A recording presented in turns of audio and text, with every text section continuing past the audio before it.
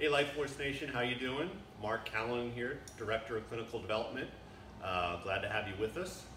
I get questioned every week about how to treat diabetic neuropathy.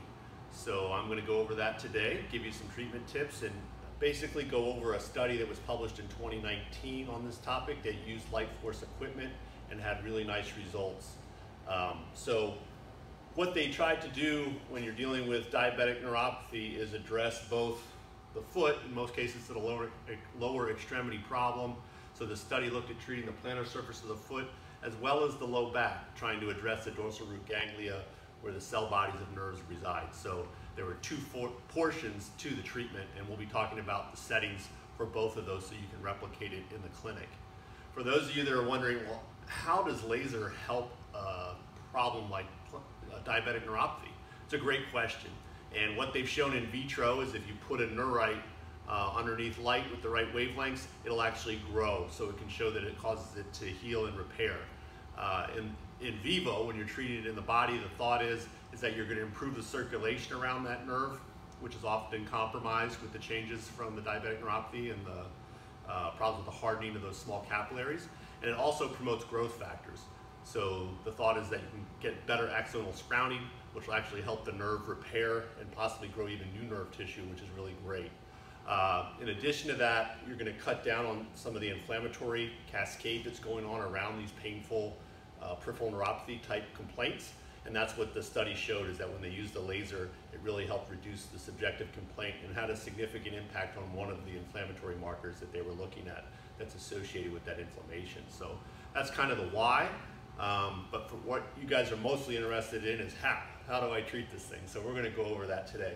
Um, I have the 15 watt FXI with me today, which is equivalent to the machine that they use for the study. You don't really need a ton of power for this problem. And part of the reason is that when you're treating nerves that are sluggish, like is the case with diabetic neuropathy, if you overstimulate them, you can get a lot of rebound pain. And that'll make for an unhappy patient when they come back to see you the next day and say, hey, I felt pretty good after the treatment, but three to four hours afterwards, I had a lot of pain. And what that usually is indicative of is you put too much energy into the tissue. So the study took that into account and started by treating very conservatively and then building uh, on the protocol as the patient came back and said, hey, I'm having no pain, it's feeling good, then they would slowly increase the dose. So for the foot, they utilized the large cone, which I have on here now. Um, and they started at just two watts when they were treating the plantar surface of the foot. And the reason why was they wanted to be conservative. And then they built that up with each successive treatment as long as the patient came back and said, hey, I'm having no new pain, it's feeling good. They would bump it up by one watt per treatment until they got to a max of 10 watts. So the highest power they had on the foot was 10 watts in this study. Uh, and that equated to a dose of approximately 9 to 15 joules per centimeter squared when it was all said and done. But the initial uh, they would last for three minutes. So they would estimate the size of the foot, and we'll go over this in just a second on the screen on how to use your perfect protocol to calculate it. But they did three minutes of treatment for 360 total joules applied to the foot. So if you have older equipment that doesn't have the perfect protocol, your target would be to shoot for 360 joules uh, at three minutes. Uh, the overall area that they treated was 120 to 200 centimeters squared. So if you recall, if you take a claw grip, that's about 100 centimeters squared. So if you're mapping out the plantar surface of the foot, that's where they came up with that number. So roughly for an average male, I would say it's about 200 centimeters squared for a plantar surface of a foot. And then for a smaller, maybe a female foot, it might be you know 150 or so. So you can map it out with your hand to be exact, a little bit more exact for the given patient you have in front of you and then just make sure you're gonna be treating most likely both feet. So you're gonna have to multiply that by two, or you could just set it up for one foot and then reapply it to the other side, whichever way you like to do it. Uh, there's no wrong answer there. So let's take a look at the screen for the perfect protocol so you kind of get a sense of how you're gonna put this in. So as you're, this is our operation screen. If we come back to uh, the home screen, you're gonna hit operations and then come over to the right corner for perfect protocol. So if the patient's foot was 150 centimeters squared, say it was a female foot like what we have today. You're gonna enter 150 for the area you're gonna treat. In this case, let's say it's the first treatment.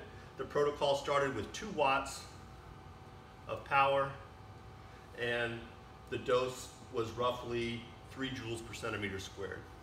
So you'd put in three and hit calculate.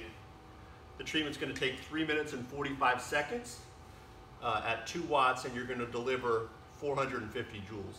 So that's slightly higher than the 360 because we chose a slightly larger area uh, and a little bit, actually the area was the same, but we picked a slightly higher dose um, based on their range that they gave us in the study. It said it was between 1.8 and 3 joules per centimeter squared. I picked the high end, which is why that number 450 is just a little bit higher. But once you get that and you're happy, uh, you're gonna hit standby button. Make sure you put your laser goggles on. And then you're basically gonna treat the plantar surface of the foot. So you're gonna activate treatment and then just move from about two to three centimeters per second, just sort of coating the plantar surface of the foot.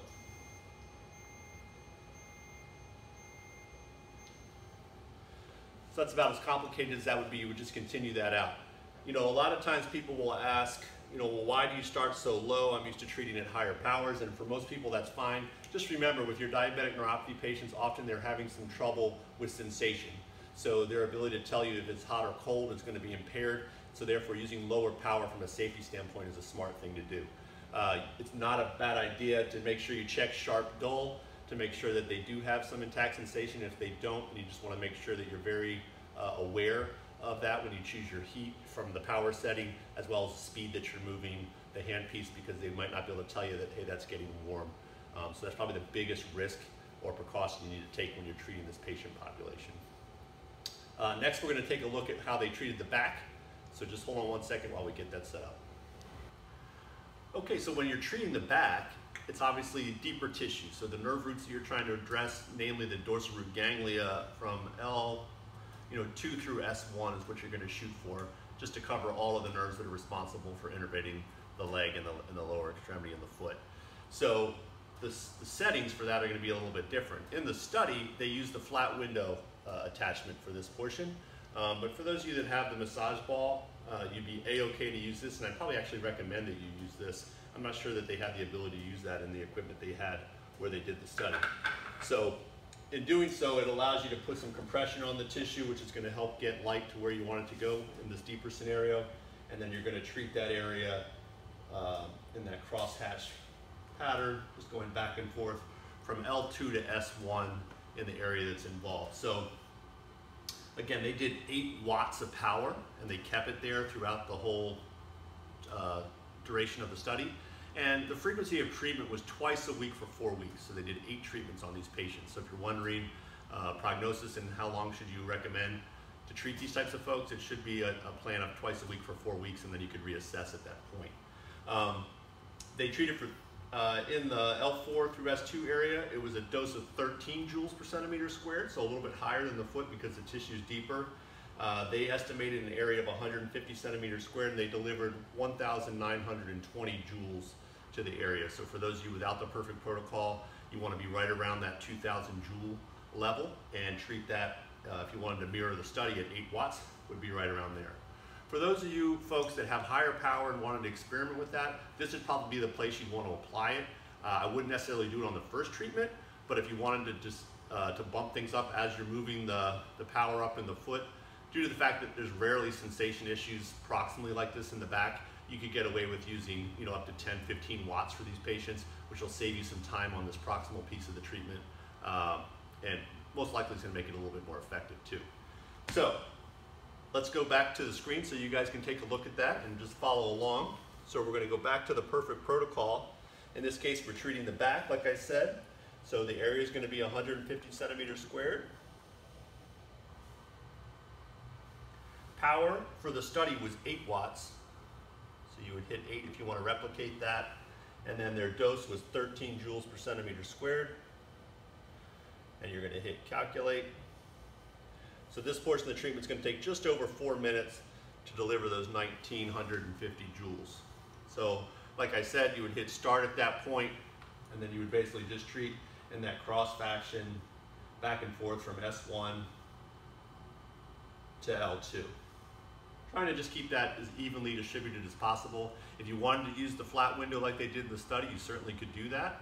Um, but again, my recommendation would be to try to use the massage ball because I think it's going to give you even a better impact on getting light down to where you need it. So hopefully that answers the question. If you wanted to make one other small adjustment to that treatment, if you wanted to treat up the calf a little bit into the, the tibial nerve, uh, that would be okay in my opinion. Just you're basically capturing more nerve tissue at that point. So if you had extra time, you wanted to spend another four or five minutes in this protocol and wanted to expand your treatment from just the plantar surface of the foot up into the calf, tracing that tibial nerve path, I don't think there's anything wrong with that at all. Probably ideally bringing it all the way up to the popliteal space would be great. But other than that, as you can see, it's pretty straightforward, not hard to do. And the nice thing is you're not just, like most of the times we're trying to deal with problems like balance, proprioception, things of that nature, but we're not really doing anything to get to the root cause. In this case, it's a, it's a very rare example that you can use a device that might actually improve the problem itself.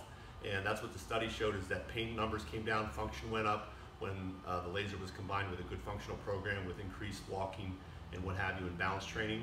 So hopefully it'll be a good hit for you in your clinic and uh, you'll be crystal clear on how to do this down the road. So thanks for joining us and uh, don't be afraid to give me a call if you have any questions. Uh, it's mark.callanan at lightforcemedical.com. Be happy to answer any questions you have. Thanks guys.